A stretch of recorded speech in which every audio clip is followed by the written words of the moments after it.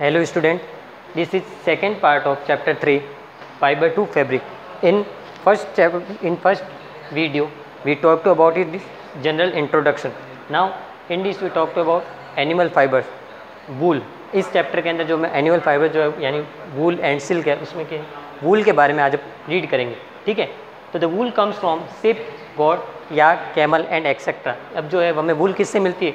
SIP से मिलती है गॉड से मिलती है और या कैमल ठीक है एक्सेट्रा इन सभी से हमें क्या मिल रही? वूल मिलती है, ठीक है ना? These wool yielding animals bear hair on their body यानी जो वूल इल्डिंग एनिमल्स जो हैं, यानी जो वूल एनिमल देने वाले हैं, इनकी जो बॉडी के ऊपर ये जो है वूल प्रेजेंट होती है, यानी जो है हेयर प्रेजेंट होता है, इन्हीं को अपन वूल कहते हैं। और these hair trap a lot of heat ये एयर क्या करते हैं? एयर को ट्रैप कर देते हैं, ठीक है? जिससे एयर बाहर जा नहीं पाती, ठीक है ना? And air is a poor conductor of heat air क्या होती है? हीट की पुअर कंडक्ट होती है। इस वजह से कीप्स एनिमल वार्म तो इस वजह से वो एनिमल को क्या करती है?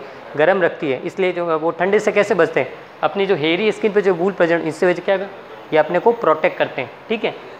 In the sheep two types of hairy skin are present जो सिप की हेरी स्किन है, इसमें जो टू टाइप्स के फाइबर प्रेजेंट होते हैं। ठीक है? First the coarse beard hair and second the fine soft under hair close to skin ठीक है ना?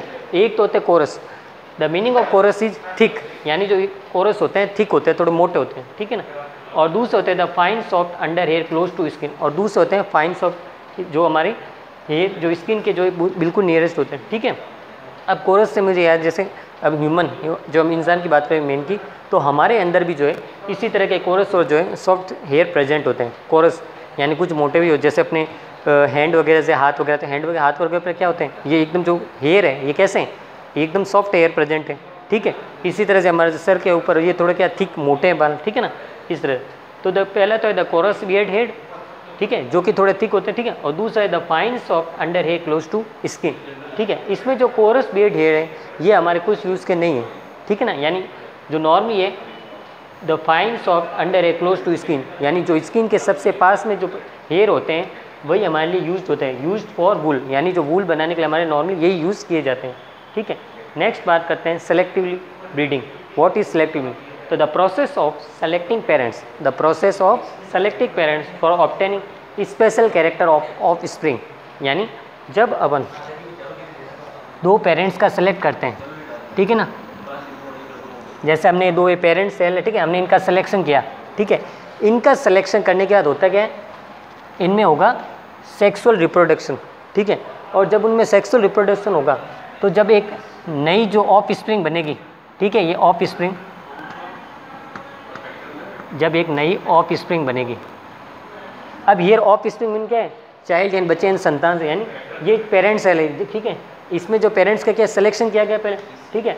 और इन दोनों पेरेंट्स का सिलेक्शन करके एक नई ऑफ़ स्प्रिंग बनेगी, जो कि स्पेशल कैरेक्टर वाली थी जैसे हमें कोई अच्छी भेड़ चाहिए, ठीक है ना तो उसके जिसमें ज़्यादा बूल हो, ज़्यादा मिल्क देने वाली हो तो अपन क्या करेंगे?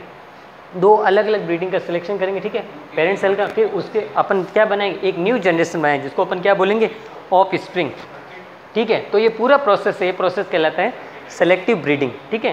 क्योंकि इसमें अपन क्या करें? सिलेक्शन करें, अपन खुद सेलेक्ट करके फिर अपन जो है एक नई ऑफ़ स्प्रिंग ऑप्टेन कर रहे हैं प्राप्त कर रहे हैं, ठीक है? फिर next animals that yield wool अब एनिमल्स जो कि वूल दे ठीक है? अब देखो, जैसे नंबर वन कश्मीरी गोट अब जो कश्मीरी कॉट है, जो कि कश्मीर में मिलने, ठीक है, उससे क्या मिलता है? पश्मीना सॉस। क्या मिलता है? पश्मीना सॉस।